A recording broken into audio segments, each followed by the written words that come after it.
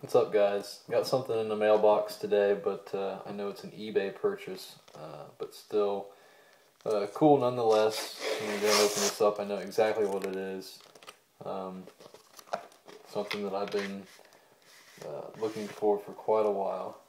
And actually came in the mailbox bent a little bit, but looks like it's still in pretty good shape. So this is really cool though. Uh, big Reds fan again, uh, in case you haven't realized. Uh, here we go. Pete Rose, autographed, 8x10, 4256 hit total, uh, with the famous picture of him uh, pointing up.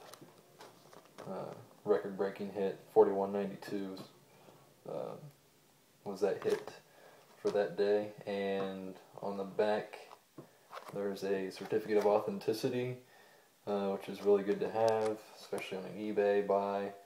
Um, looks like it was signed on February 5th of 2011 in Las Vegas. So something else to add to my collection now. Something I never had before, so really like it. And uh, hope you enjoyed it, and thanks again for watching.